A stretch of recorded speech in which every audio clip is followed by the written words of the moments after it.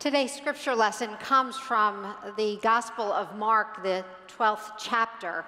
But before I start reading, just a brief uh, word about what's happened up to that point. Chapters 11 and 12 in Mark's Gospel are filled with Jesus' conflict with the temple elite, with the Pharisees and the scribes and the temple priests. In chapter 11, he even goes so far as to turn tables. And you, many of you know the story of Jesus turning the tables in the temple. So when we get to chapter 12, the very end of chapter 12, which I will be reading from today, this conflict has really reached its climax. And in these few verses at the end of chapter 12, I'm going to be reading, are really the last time Jesus speaks publicly before his passion begins. So he is in the temple. He has already entered into a variety of conflicts uh, with the temple leadership. And now these are his final words before he, he enters into his passion and continues to teach only the disciples that are following him. So listen now to these last words, public words of Jesus. As Jesus taught, he said, Beware of the scribes who like to walk around in long robes and be greeted with respect in the marketplaces, and to have the best seats in the synagogues and places of honor at banquets. They devour widows' houses, and for the sake of appearance say long prayers. They will receive the greater condemnation. He sat down opposite the treasury and watched the crowd putting money into the treasury. Many rich people put in large sums. A poor widow came and put in two small copper coins, which are worth a penny.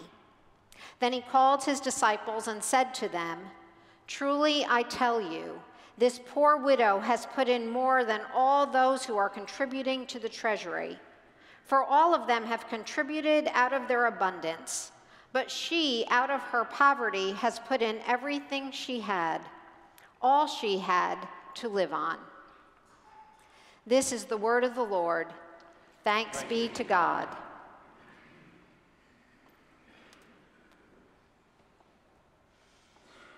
His name was Ed. Ed was the father, the single father of three children. He and his three children had lived in their car for a number of months. Ed was an educator in a local ISD, and so his children were the beneficiaries of free breakfast and lunch. They showered in the school gymnasium.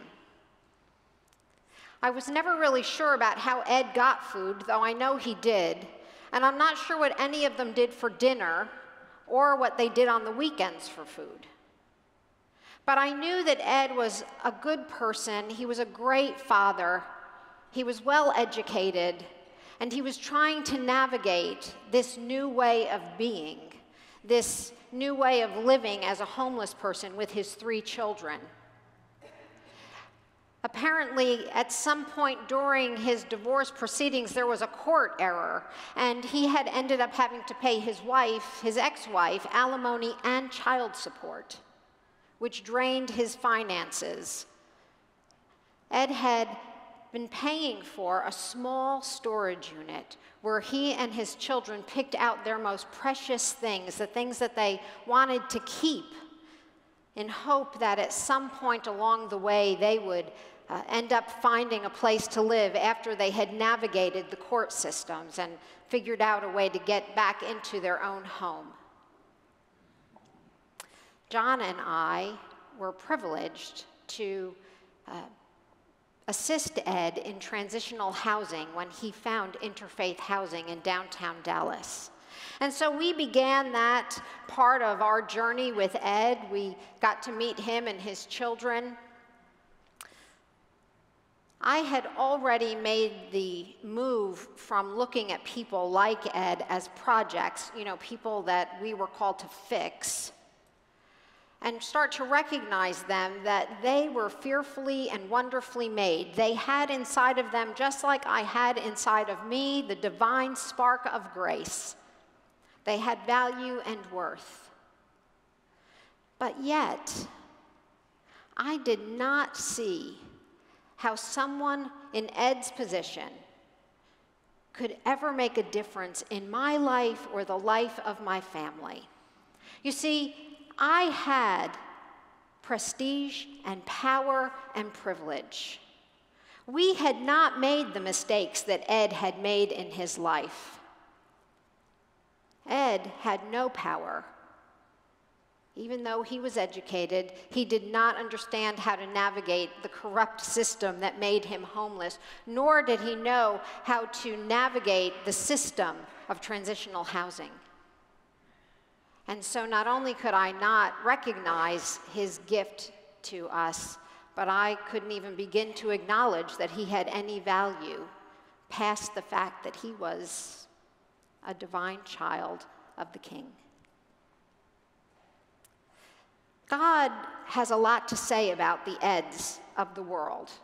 In the very beginning of the Hebrew Bible, we see God gathering this group of people together to be God's own people. And immediately he sets before them a, a, way of living and being that is different than the rest of the culture that they had come from. One of the very first things that God commands those people was that they would take care of the least of these the widows, the orphan, the immigrants that came into their communities. They were tasked with specific ways of living with those people among them and caring for them in a way that demonstrated God's love for all people. Those who were responsible for making sure that the community knew what that looked like were the priests, the scribes, and the Pharisee. They were the ones who were supposed to live an example of what it meant to follow this God that had called them into being. They were the ones who were supposed to keep the holy rhythm of life for those people so that they would abide by the things that God said were important to who they were. They were never to put a burden on the backs of the people, but instead they were to be living examples of the love of God. They were to live with integrity and shepherd the flock.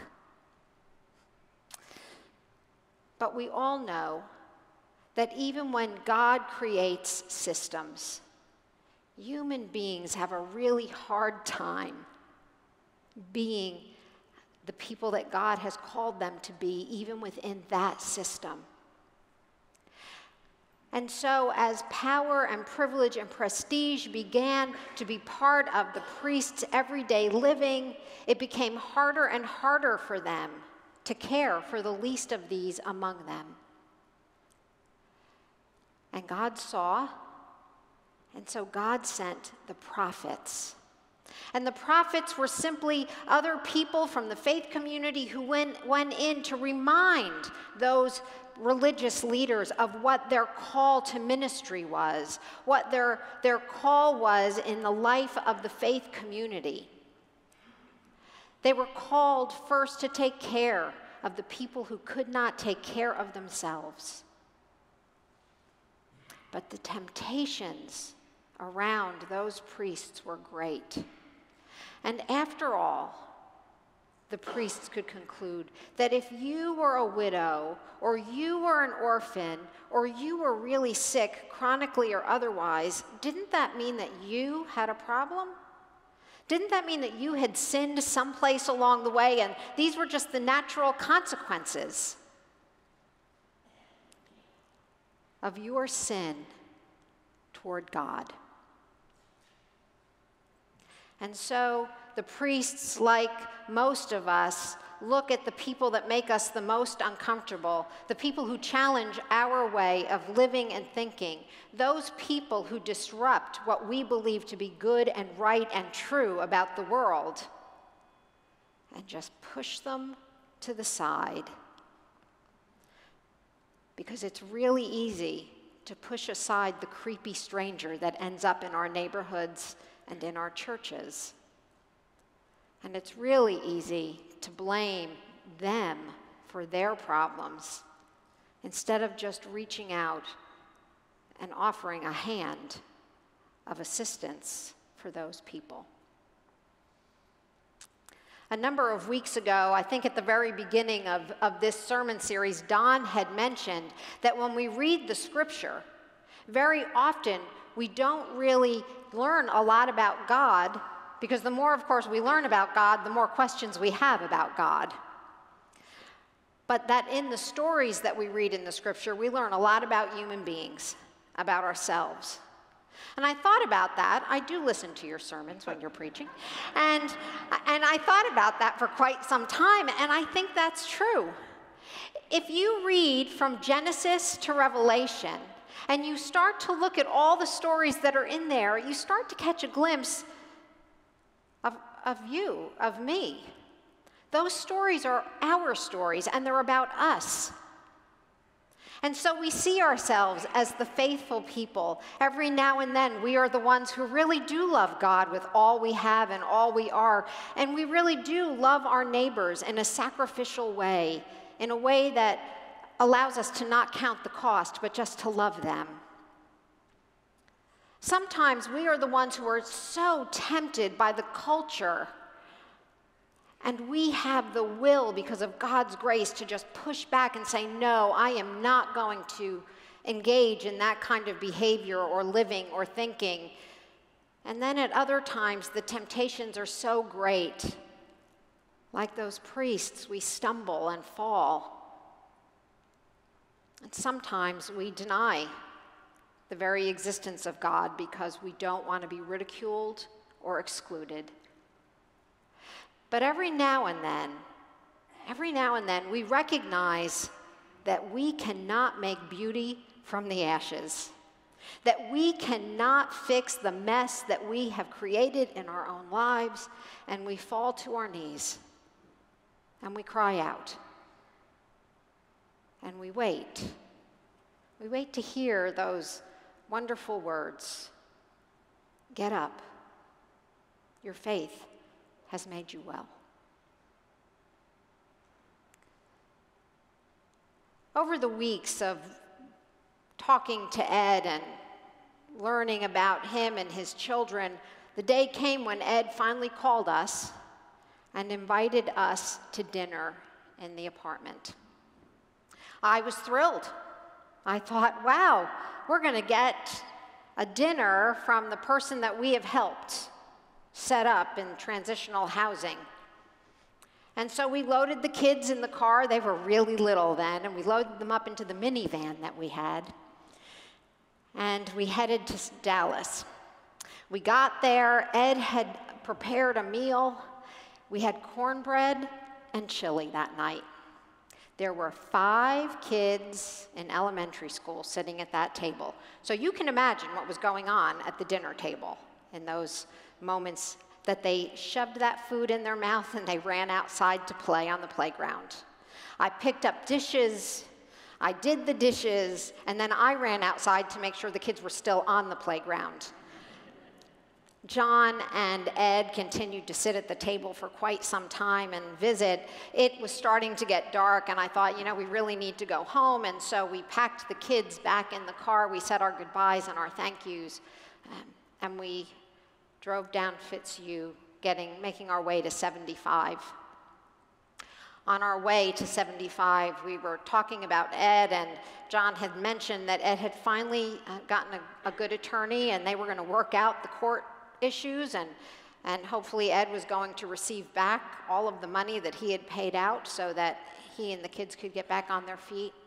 They were hoping it wasn't going to be a very long process. And then I said something really flippant because you see, I was feeling really accomplished, even though I had nothing to do really with anything that was going on in those moments.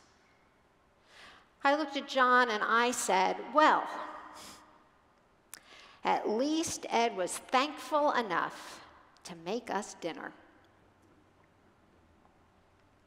It wasn't my best moment.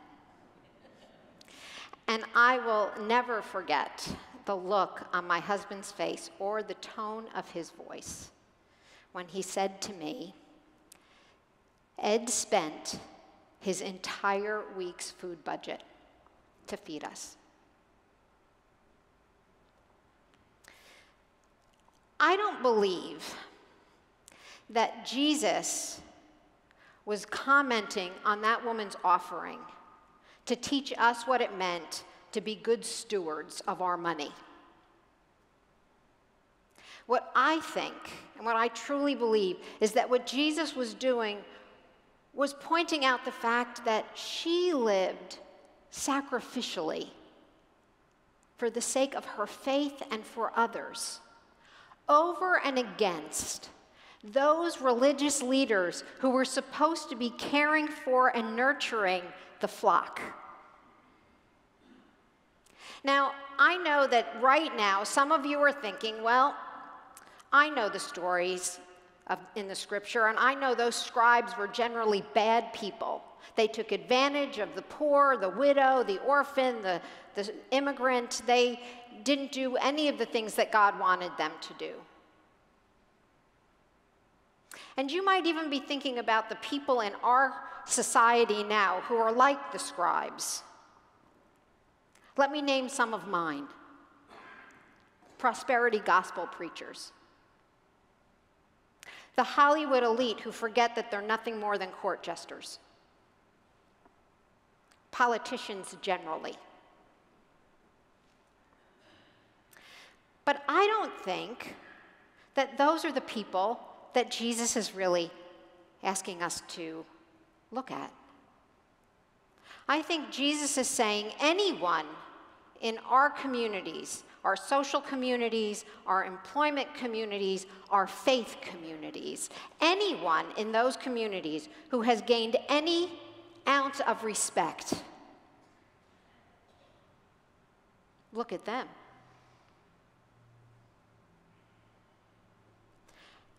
And what really disrupts my life is when I think that Jesus is actually talking to me, about me. And I really hope he's not. And somehow I think he is.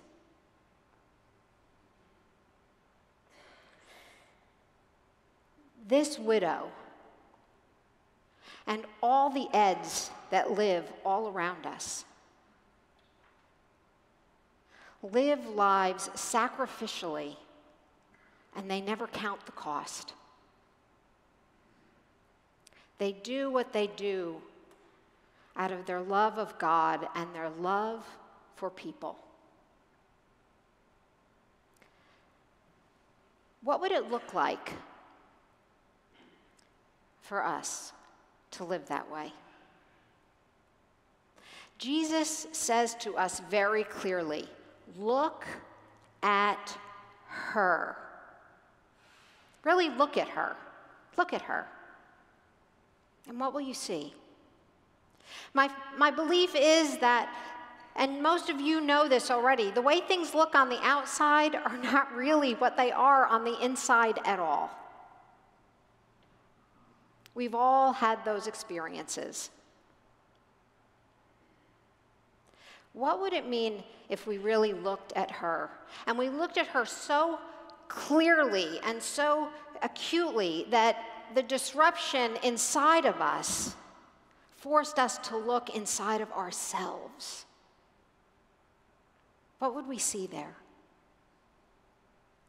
I believe that we might find that the robes that we have been wearing every single day, the ones we don't even notice anymore because they're part of who we are, would have to start to come off. What if we ripped open those robes and what we found was the children that God had always intended for us to be?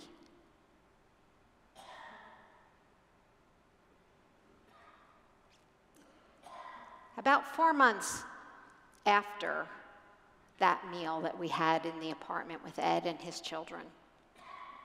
Ed moved out of interfaith housing into his own apartment with his children. It was a glorious day. Ed would be my age now, and his children would be grown because all our kids were the same age. I don't know whatever happened to Ed or his children. But this I know. On the day that Ed moved out of that apartment, It was the day that I discarded the first of many robes.